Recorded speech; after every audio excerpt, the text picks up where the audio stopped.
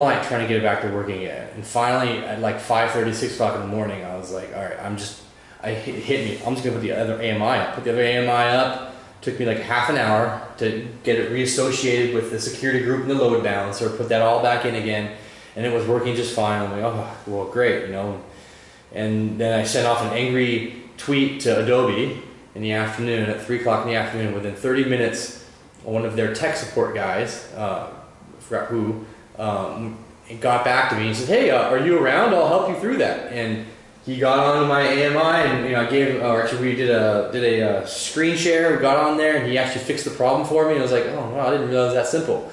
And so it shows you part of that. that all this stuff. I mean, it's it's all virtual. You make copies of everything. It, it doesn't cost you hardly a thing to. I mean, right now they to keep these on here. How big is this? Uh, I don't know, will it tell you how big it is? I don't think it tells you how big it is. Maybe it's up here. It doesn't tell you. But it doesn't really cost you anything to, to make, to keep uh, these instances around. Um, here's my load balancer. So if you notice, I have these three ports open right here.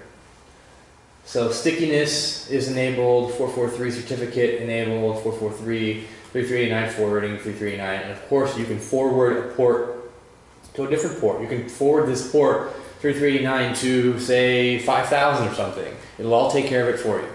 And you can make these individual according to each individual thing that you have, uh, specification that you have. Here's my VPC. Um, and here's my auto scaling groups. And I didn't I ended up turning my auto scaling off yeah, I don't have any. have any. Uh, because I didn't really end up not needing it. Um, I almost, I had it set up for the first two days we had registration, and it almost kicked it off. But I just kind of realized at this point in time, well, you know what? What I can do is I can just take my AMI and launch it on a heavier duty EC2 that has more memory, more bandwidth, more not more memory, more CPU. It's way more powerful. It's way faster, and that way I won't ever kick off an alarm. It'll be just fine. And after I'm done for a few hours, I can just bring it back down to the other uh, EC2. So completely configurable according to what you need. And of course, they will charge you by the hour for everything. So you just turn it off and have the other one turned on and do what you want to do. Completely custom. Uh, security groups are important you'll have security groups um, set up for everything from the website to the RDS service, um, and they uh, they they deal with your inbound traffic, your outbound traffic, uh, what they allow.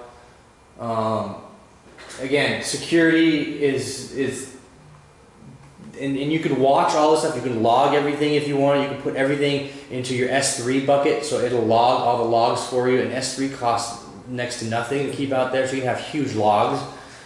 Um, the one thing I did was on my login system, I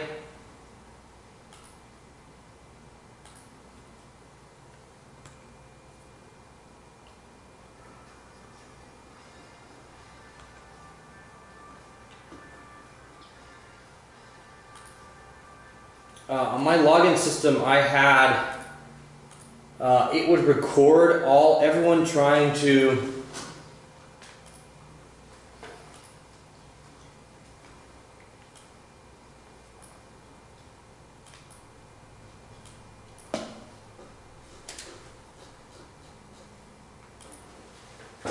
my login system would, would record all of their IP addresses. So if they tried to log in and it failed, it would record, it would record their IP address, the machine they were using, um, what uh, what password they tried to use, what username they tried to use, and all that kind of stuff. And every success, obviously, it would record as well. Um, what I ended up finding was it would record my internet gateway or my load balancer because it it would actually I think it was it was it was the internal so it was the load balancer they would they would because uh, the the machine the EC2 would actually see the, the load balancer as the internet or as the user I should say as a user because your your load balancer controls your user Um, so the next thing, uh, database services. And that's uh, right here. Where's the RDS? Application.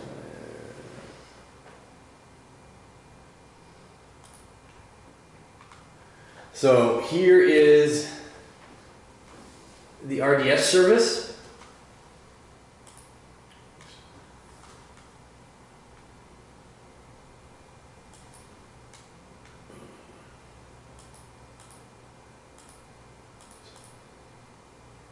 So this has actually changed the last time I used it.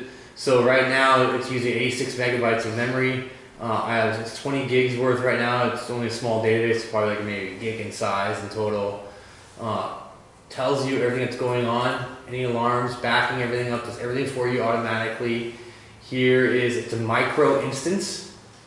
So uh, one virtual CPU, one gig of memory. Um,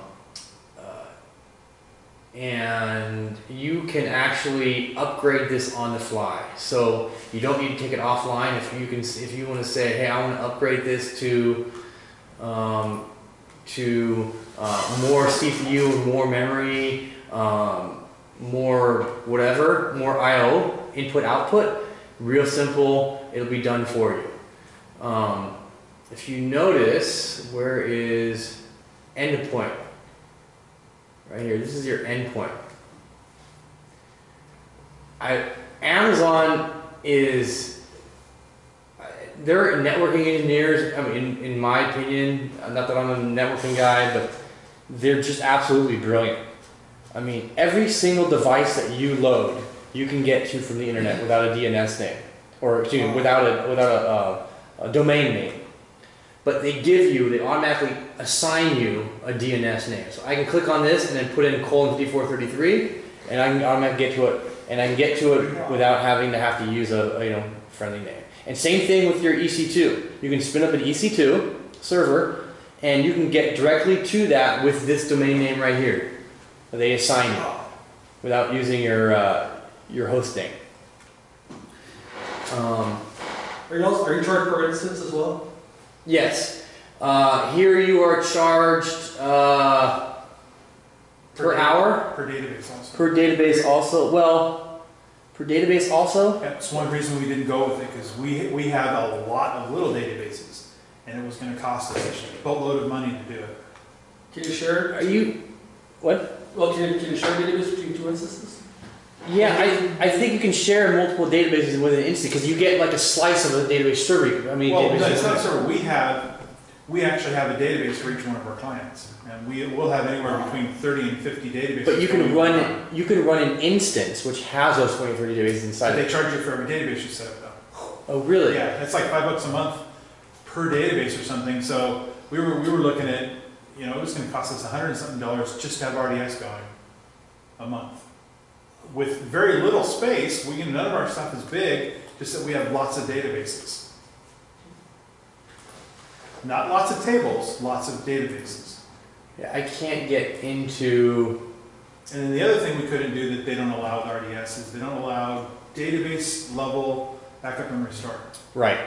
Again, Which we, we do all the time. We do all of our database stuff Yes. locally, save it off and then push it up to our server. Can't do that with that. So what, that's a really good point, actually. Um, I wish I would have written this down. When you set up your instance, you can't, like you said, you're actually getting a piece of the pie. So you're going back to that one prior slide. Is they actually limit you on certain things, and that's one of the things that limit you. What you have to do is you have to do uh, a, uh, not a backup. It's a uh, what's it in the SQL world? Where you get the structure You store it as, as a script, I think you can you store it as a script. Right click, export database as a script, save that script. And then you can run the script and create a new database. Exactly. And then you have to go and import all your tables Yeah. individually. It's, A lot more Yeah. work than what we wanted to do with all of our databases. it was a lot more work than I anticipated on, on my side as well. Yeah. A lot of work. Um, I didn't really charge you about the database. I, Yeah. I have like three in mind, but I only get charged I don't know what it was. It was like seventeen dollars. Oh, once you spin up an instance of, of, say, a SQL server, hmm can you connect to it through? SQL SQL Server, right here. Here it is, right here. Instance. You can either use uh, this right- name right here, or you can use the actual IP address. But I always use this name right here. Just put this in here, colon fifty four thirty three, and boom. I changed the port. I just changed my port on mine because I just I like doing that for security reasons. Um, and uh, there you go. And you can enable.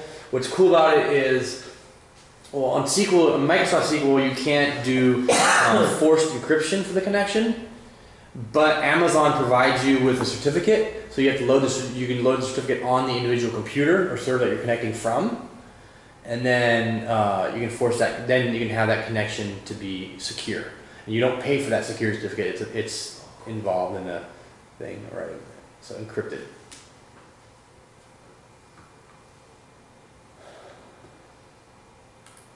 So what are, if, if you can't back it up, what are snapshots? So you go back to your previous screen. What are snapshots? Is that a, is that a, uh, These these are the actual. Um, well, you can back it up, but it backs up for you automatically on their side. Make sense?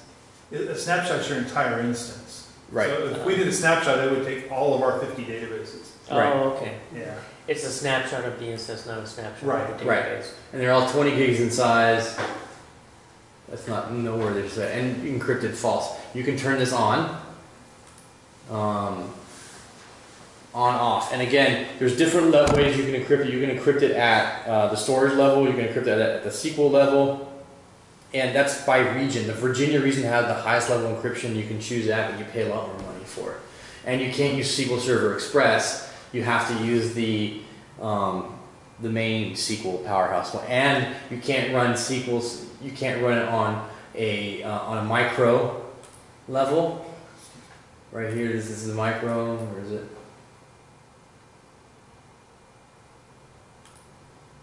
db2.micro. This is one of the smallest ones that they offer. You have to have a, a larger, uh, more more RAM and more memory.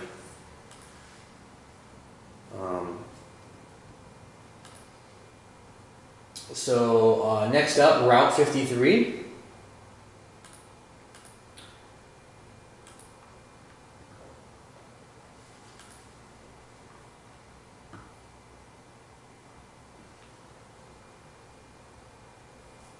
So I have one hosted zone, being charged 50 cents a month for that. And here are all my name servers I put in here. Um, where is the actual? Uh, you can run health checks, so you can ping it to make sure it's always up and running, and if it doesn't uh, pass the amount of pings, it, it'll forward it somewhere else. Um,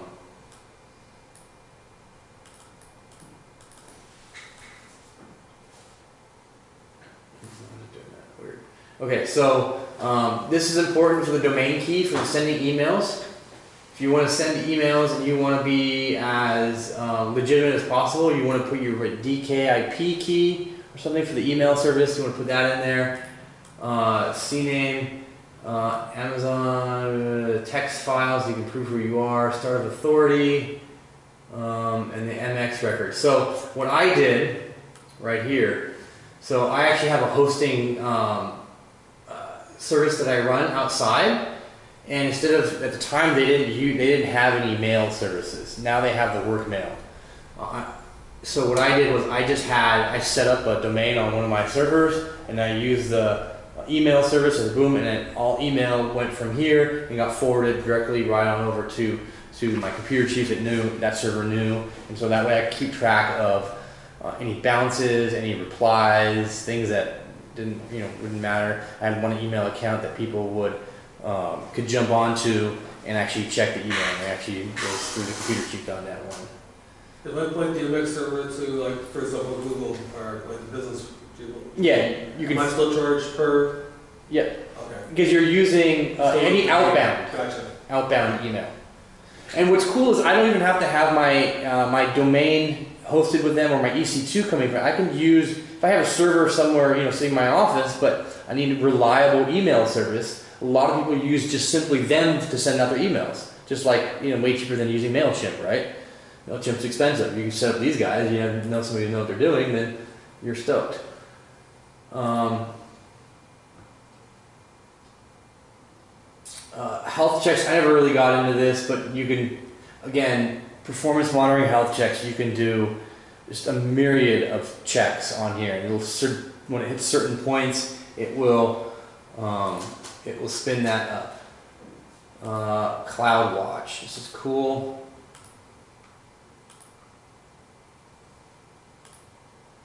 So failover was taking place at the, at the, um, Route fifty-three and not at the load balancer. No, depends.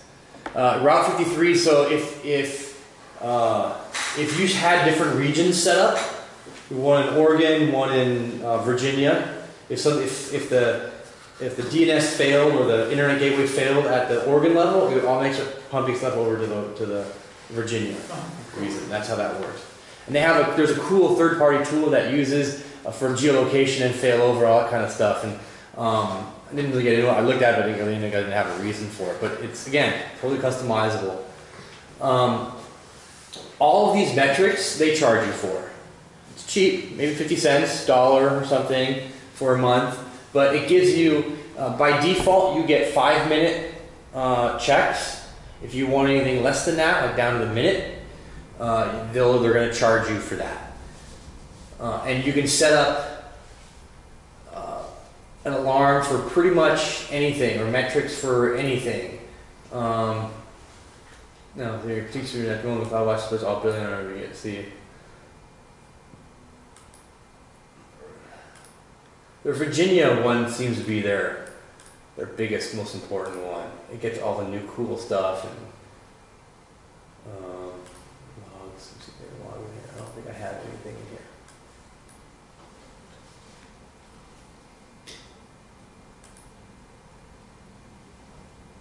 Yeah, I haven't had any activity on here, but I do have actually.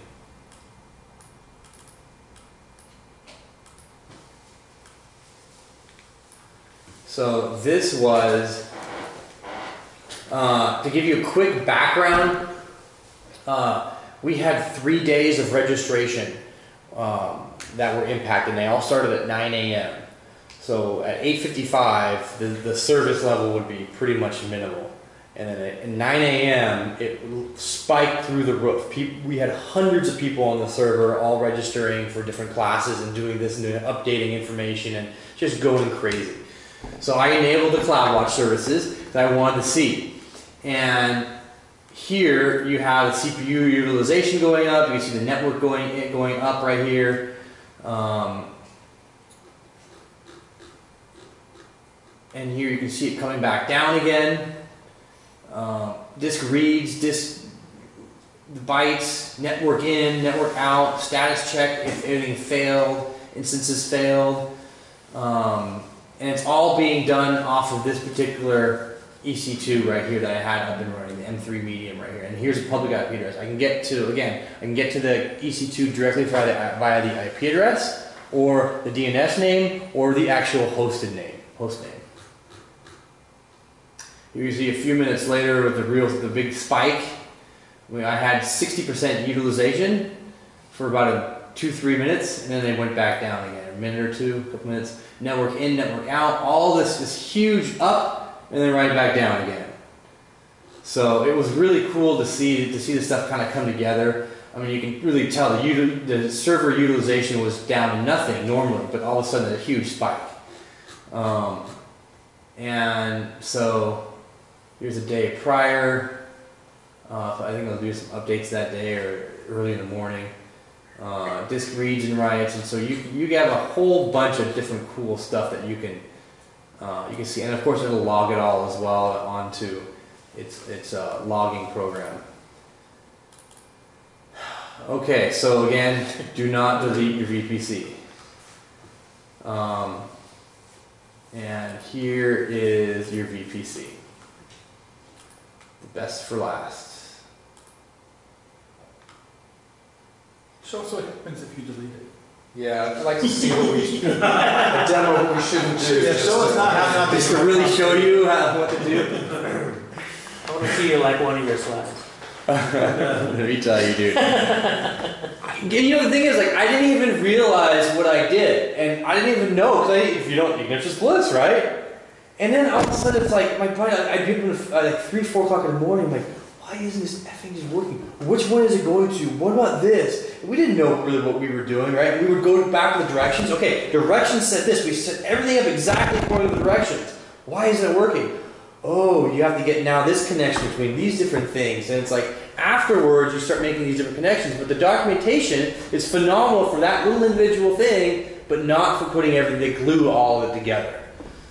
Um, here I have three VPCs, four internet gateways, routing tables, security groups. Um, you know, it shows you everything on this. They are really good at their presentation according to what you have. Um, your three VPCs. So you can see right here, I have two VPCs um, set up. Uh, one is within this uh, block that did never really work. I can actually delete this. Delete VPC. Don't do that unless you're really sure. Um, so what I had set up was I had two VPCs set up because my business requirements basically had I needed to get to this um, to this server. I wanted to separate out the web server from the RDS service and completely separate, not be on the same network, just as a security measure, right? Uh, dealing with uh, kids' information, parents' information. It's uh, on a it's a public program, so and I, I kind of had an idea that somebody would be coming after me and wanted to know, hey, how do you do your security? So this is this, hey, this is what it, everything was separated out. But then I had a particular uh, need where I had my public access to web server, but then we would, would go to a pool side, so where we had the new kids register for this for different classes. We had a server on site, and the server on site had a copy of the R, of the RDS system or if it, it, it um, or it had uh, a uh, connection to the live uh, service as well. So, but I needed to bring it back in again. If I if that live if the internet connection cut out, um, I would just stay with that with the one. So I had to kind of make a decision when I was there on site. Hey, do I do use my on-site SQL service or do I not? Um, when we have the swim test, we have a program called FileMaker Pro that would connect to the database. And so I wanted that completely separated out with its own internet gateway. I wanted